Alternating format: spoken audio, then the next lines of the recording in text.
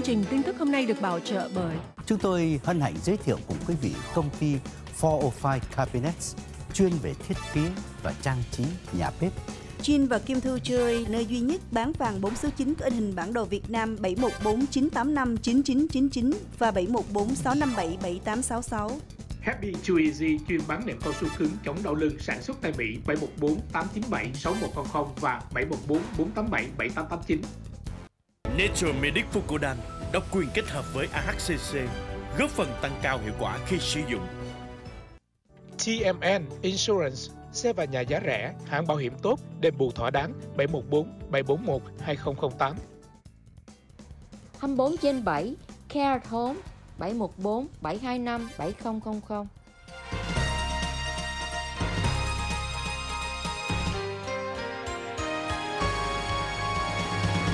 Hoàng Trọng Thủy trở lại với tất cả quý khán thính giả. Cảm ơn sự theo dõi của quý vị. Từ cà phê sáng sang thời sự thế giới ngày hôm nay Thảo Yên vẫn à, phải ở nhà, có thể đi bác sĩ vì bị ốm hơi nặng. Mong rằng cô mau hết bệnh trở lại vào ngày mai thưa quý vị. À, trong đó tình hình tài chính ngày hôm nay thì à, thị trường à, một màu xanh rất đẹp. À, lý do à, được giải thích. À, họ nói như thế này. Mặc dù uh, August Wholesale Inflation lạm phát về bên phía hàng bán sỉ đó, bán hàng đóng đó, thì tăng 0,7% hotter than expected. Có nghĩa là nóng hơn các giới đầu tư và nhà kinh tế trong đợi đó. Thế nhưng, but core prices, cái lõi, cái giá lõi đó, cái cốt lõi đó, tức là bao gồm hết tất cả chi phí xăng vân vân vân thì in check có nghĩa là vẫn đi theo đúng cái chiều hướng mà ngân hàng trung ương quỹ dự trữ liên bang Hoa Kỳ tiếp tục theo dõi. Và quý vị thường hay nói hay, hay cứ hay nghe là quỹ dự trữ liên bang và ngân hàng trung ương thì đây là một uh, cơ quan kiểm soát tất cả các hoạt động về giá cả uh, kinh tế của nước Mỹ. Cho nên tại sao ông Jerome Powell, quý vị cứ nghe hết, chủ tịch quỹ dự trữ liên bang là một người có thể nói rất quyền lực. Mặc dù cái quyền đó là biểu tượng bởi vì ông là người quyết định dựa trên những dữ kiện mà ông đọc được từ các bộ cung cấp, trong đó bộ thương mại, bộ thống kê, bộ lao động, hàng bán sỉ, bán lẻ, mỗi một ngày ông phải theo dõi tất cả những chi tiết đó. Rồi cứ một tháng, ba tháng, ông phải xuất hiện điều trần trước quốc hội để thông báo là quyết định của ông sẽ như thế nào. Nếu mà xảy ra cái tình trạng mà suy thoái kinh tế hoặc là kinh tế Hoa Kỳ tăng trưởng quá nóng đó, thì quỹ dự trữ liên bang vô cùng quan trọng, thưa quý vị. Đưa ra quyết định để kiềm chế như cái việc mà à, kinh tế tăng mạnh quá đó thì họ phải kiềm chế để giảm bớt bởi vì tăng mạnh quá cũng không tốt. Mà rơi xuống thành suy thoái thì lẽ đương nhiên không ai muốn cả. Thì cái vai trò của quỹ dự trữ liên bang rất là tế nhị nhạy cảm.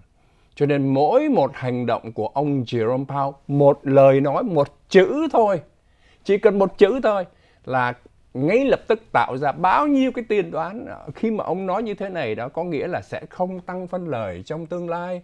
Cái việc tăng phân lời thì giới đầu tư không muốn bởi vì sao thưa quý vị? Đơn, đơn giản là quý vị làm chủ công ty đó quý vị đi thường đó những cái đại công ty họ muốn mượn nợ để phát triển hoặc là à, họ không lấy tiền mặt ra thậm chí có tiền mặt nhưng mà mượn vẫn tốt hơn bởi vì vấn đề thuế má.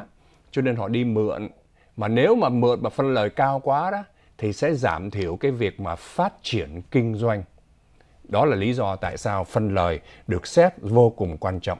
À, thứ hai nữa đó là họ nói rằng cái giá um, xăng sẽ còn tiếp tục tăng lên trong thời gian nữa thì đây là cái điểm mà giới đầu tư cũng rất quan tâm để cho thấy rằng dầu dầu thế giới đó có hai giá dầu dầu ở Mỹ thì chúng ta thấy mỗi ngày chúng tôi loan tải đó nó thấp hơn so với giá dầu thế giới. Giá dầu thế giới hôm nay lên tới 99 đồng.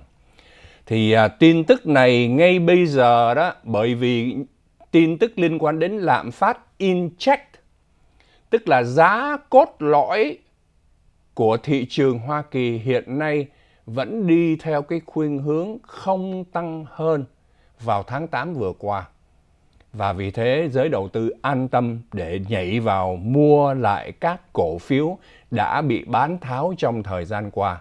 Và việc mua lại cổ phiếu này đã giúp thị trường tăng lên thêm 219 điểm nữa trong ngày hôm nay, 34.795. Nasdaq lên 114, S&P 500 lên 30 điểm. Tuy nhiên, chúng tôi lại đọc được một cái bản tin cho thấy rằng quỹ dự trữ liên bang có thể sẽ giảm hoặc là ngừng việc tăng lãi suất bởi vì nền kinh tế Hoa Kỳ có thể đi vào suy thoái. Hôm vừa rồi chúng tôi gặp một chủ nhân của một tiệm chuyên môn bán seafood và anh đã than vãn nói rằng là không những anh mà những nơi anh đến để đi mua hàng đó À, các chủ nhân hàng bán lẻ đều than vãn là trong thời gian qua họ bán không có chạy nữa. Thì đó cũng là một trong những cái chỉ dấu cho thấy rằng hoạt động kinh tế của Hoa Kỳ đang có những cái chiều hướng khựng lại. Mà nếu chiều hướng này tăng đó, nó sẽ dẫn đến việc suy thoái. Cho dù đến giờ phút này đó, Quỹ Dự trữ Liên bang không nhắc, không nói tới vấn đề suy thoái. À, trước đây thì họ nói rằng vấn đề suy thoái có thể sẽ nhẹ chứ không phải là suy thoái nặng. Công trái phiếu 10 năm là 4,25%, 2 năm là 4,97, vẫn không tăng hơn so với tuần lễ trước đây. Có hai tuần trước thì có lúc lên trên 5%. Dầu lên 1 đồng 53 sen ở mức 90 đồng lẻ 5 sen rồi. Và India, Ấn Độ hiện nay được xem là quốc gia à, thừa hưởng cái cuộc chiến Ukraine này bởi vì Ấn Độ mua dầu của Nga rất nhiều, mua cả năm nay rồi thưa quý vị, từ những ngày đầu bởi vì Ấn Độ đứng trung dung, không ủng hộ chiến tranh mà cũng không chống chiến tranh, họ muốn giữ cái thế độc lập để tiếp tục vẫn nói chuyện được với Nga và vì thế vẫn mua dầu hỏa của Nga. Hoa Kỳ không làm được gì hết, thậm chí Hoa Kỳ vẫn phải kéo Ấn Độ về phía mình để chống Trung Quốc. Cho nên đối với những cái quốc gia khác đó họ có những hành động chẳng hạn như là mua dầu hỏa theo cái lệnh cấm vận của Mỹ chắc chắn sẽ gặp phải cái sự trừng phạt, chỉ trích nhưng mà riêng Ấn Độ thì không. Cho nên Ấn Độ ngày hôm nay với cái giá dầu có lúc nó xuống tới bốn à, năm mươi mấy đồng, Ấn Độ mua rẻ hơn nhiều. Ấn Độ mua dầu của Nga rẻ hơn rất nhiều à, dầu hôm nay là 90 đồng lẻ 2 sen rồi. Dầu trên thế giới là 99 đồng. Cho nên quý vị sẽ thấy á, cái điều oái oăm mâu thuẫn là cái các cây xăng họ tăng nhanh vô cùng. Qua đêm là thấy tăng rồi. Đến khi mà dầu có xuống nữa thì họ xuống giá rất là chậm. Vàng xuống 1 đồng 50 sen, 1930 đồng 70 sen một troy ounce. Nghiệp đoàn xe hơi liệu có đình công bãi công hay không? UAW, Hiệp hội ngành xe hơi của Hoa Kỳ. Hiện nay ông à, Tổng thống Joe Biden đang nỗ lực để mà tìm các thương thuyết và thậm chí đó đang phải chuẩn bị emergency aid for suppliers.